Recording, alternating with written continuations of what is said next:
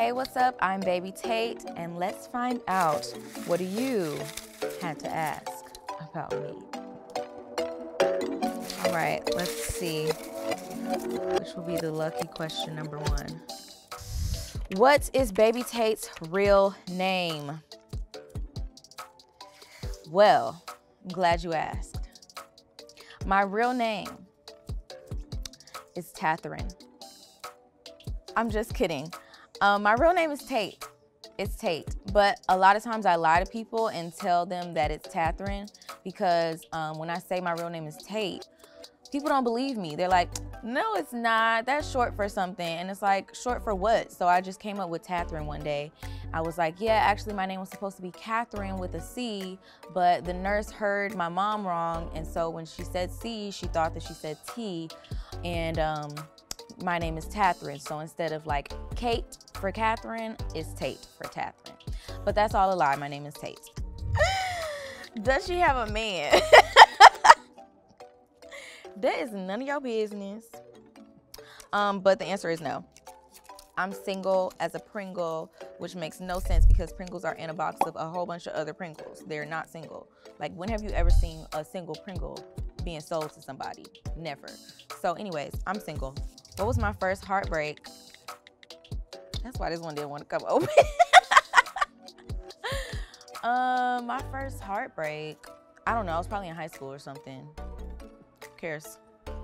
Who cares about heartbreak? Move on. I'm just kidding. Heartbreak happens to all of us. what scares baby Tate? Um, I'm scared of spiders. Um, I think that's the only thing that scares me. And failure. Um, you know, I think we all fear failing, which is why a lot of times people don't try because they're scared to fail. But when I say I'm scared to fail, it's like I'm gonna try anyways. I just don't want to fail. Um, so yeah, failure is not an option and spies us, especially in large quantities.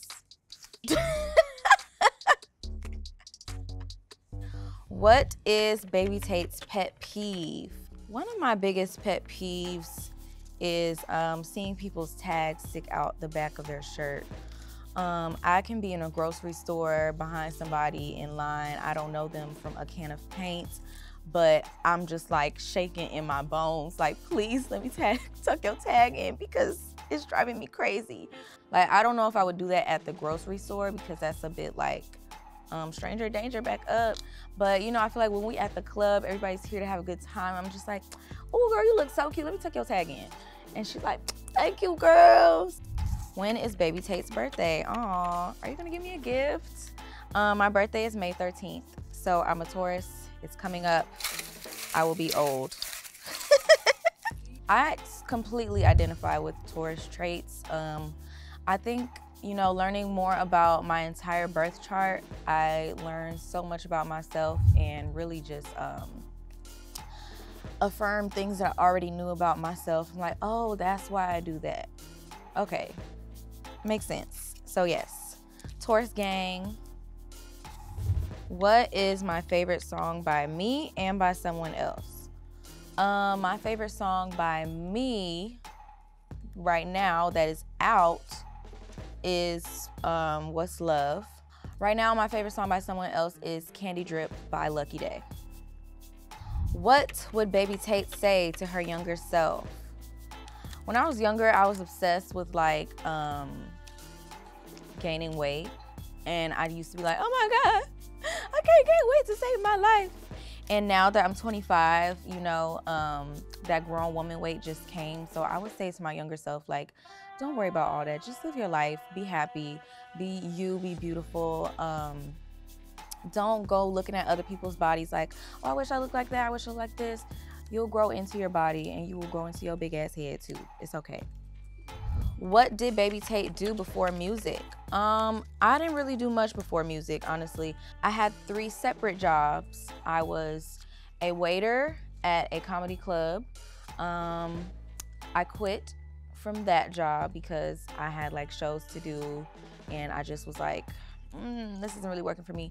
Then I worked at um, Newk's Eatery, which is like a place that sells soups and salads and sandwiches. Um, quit from there as well. It was always music or nothing. What is Baby Tate's biggest inspiration? I would say my biggest inspiration is women um, and empowering women, making women know that um, you are powerful, you are strong, you is kind, you is smart, you is beautiful, and um, yeah. So I think that's that's my biggest inspiration. That's why I do what I do. When they ask me what I do and who I do it for, and how I come in with this shit up in the studio, does Baby Tate play an instrument? I actually know how to make my way around the piano. I used to actually play piano and take piano lessons, and I was really good at piano. But this one day I was in seventh grade, and I told my mom, This is so lame. I don't want to play piano anymore. Ew. Ugh. And she was like, You're going to regret it. I don't think you should stop. And I was like, Ew, no, I'm not. Ugh. Gross. Piano's for losers. And now that I'm a 26, oh my God, I'm not 26. now that I'm a 25 year old, I definitely do regret it. Um, so yeah, I don't play piano as much as I used to, but I do know how to make my way around it.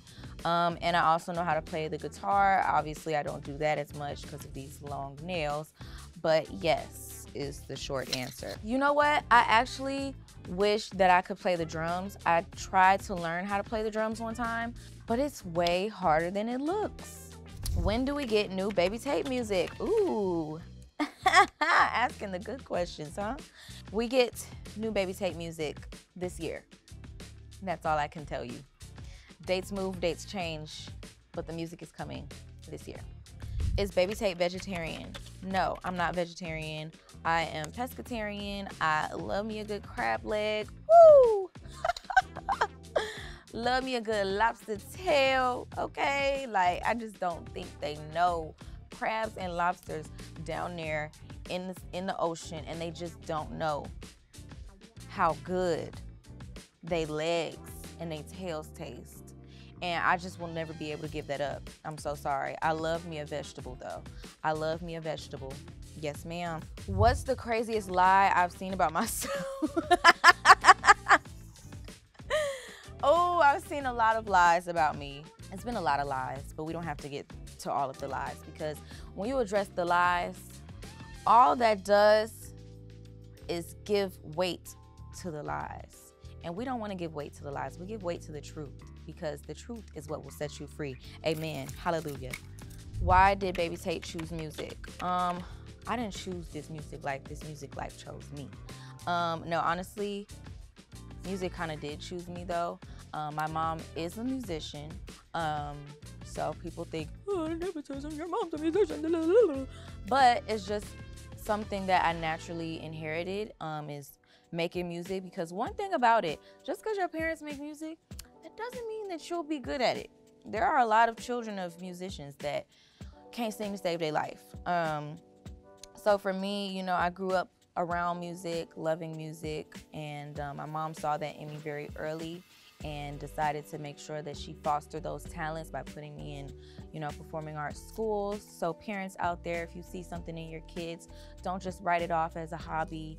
They very much so could make this their entire life and change their life and yours as well. A lot of people say to their kids, "Oh, music, you're not to make it."